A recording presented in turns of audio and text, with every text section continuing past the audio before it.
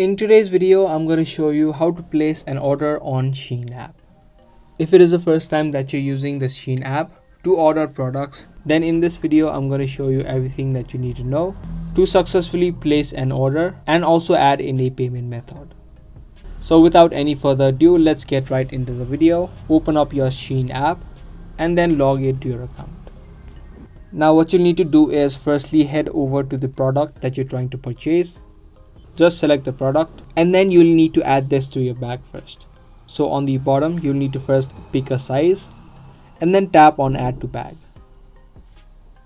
Once the product has been added to the bag you can tap on the bag option on the top right or you can also choose to add in more products to the bag by again repeating the same process and tapping on add to bag. Now tap on the bag option on the top right and it's going to show you all of the products that you added to the bag. From here you need to tap on checkout on the bottom right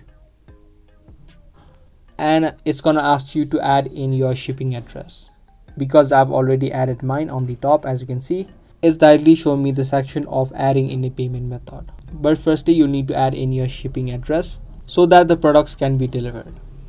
Here you can choose two types of shipping, either the standard shipping or the express shipping. The standard shipping will deliver your products within 10 days and the express shipping will deliver your products within 7 days. So choose your option and then lastly you need to choose your payment method. These are all the payment methods that you can use. If you choose debit or credit card, you'll need to type in the details of your card.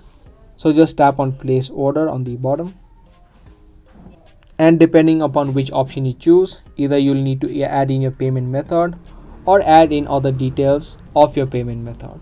Once you're done you can just tap on purchase on the bottom and your order will be successfully placed on Shein make sure that your billing or shipping address is correct. So that's the exact way that you can place an order on Shein app. If this video was helpful to you be sure to subscribe share and also give this video a thumbs up. I'm to see you guys in the next video. Thanks for watching.